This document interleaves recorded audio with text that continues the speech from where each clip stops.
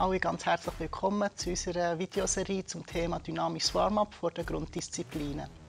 Wir zeigen euch hier eine Auswahl an Übungen, die ihr machen könnt, um euch optimal für euer Squat, Bench und Deadlift-Training vorzubereiten. Ein komplettes Warm-up besteht immer aus drei Teilen. Einem allgemeinen, einem dynamischen und einem spezifischen Teil.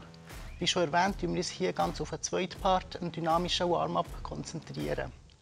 Das dynamische Warm-up hat immer zum Ziel, dass wir die Muskeln und Gelenke aktivieren und mobilisieren, die wir in unserer Hauptübung brauchen.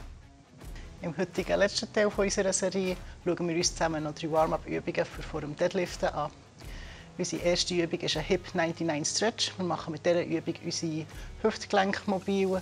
Das ist ganz wichtig für alle, die Sumo haben, aber natürlich genauso für Conventional Puller, dass wir dann in unsere richtige Startposition hineinkommen. Für das nehmen wir eine lockere Grätsche ein zuerst, sind aufgestellt und dann drehen wir uns ab gegen eine Seite. Jetzt zuerst gegen die linke. Hier in dieser Position kontrollieren, dass der Unter zum Oberschenkel schön einen 90 Grad Winkel bildet. Dann fangen wir an Spannung aufbauen, vor Fersen, Knie und Hüfte aktiv probieren in den Boden reinzudrücken. Dann, wenn es Beweglichkeit zulässt, können wir unsere Hände sehr gerne vor dem Bein platzieren der Rücken bleibt immer gerade und um die Intensität noch ein bisschen verstärken, können wir sehr gerne so weit wie wir können gegen vorne lehnen, das Ganze 30 bis 60 Sekunden halten und dann gegen die andere Seite. Unsere zweite Übung ist ein Staggered Stance Deadlift. Wir aktivieren hier unsere ganze hintere Kette, aktivieren, also von den Hamstrings über die Glutes bis in die Rückenstrecker. Wir nehmen als erstes eine versetzte Standposition ein. Ein Bein ist vorne, das andere hinten der Seite, wo das Bein hinter ist, nehmen wir ein Gegengewicht wie ein Kettlebell oder eine Kurzhantel in unsere Hand.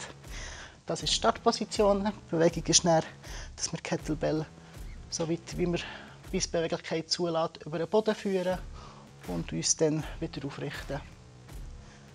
Langsam zum Boden. Der Rücken bleibt die ganze Zeit gerade und aufrichten. 15 bis 20 Mal wiederholen, dann das Gleiche auf der anderen Seite. Als dritte Übung machen wir einen Single Arm Kettlebell March. Wir aktivieren hier unseren ganzen Rumpf aktivieren und stabilisieren.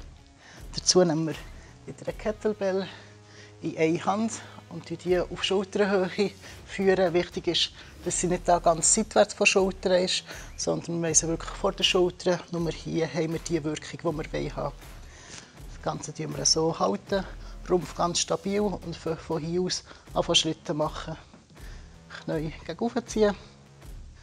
Man würde laufen vor Ort. 30 Schritte machen und dann das Gleiche auf der anderen Seite.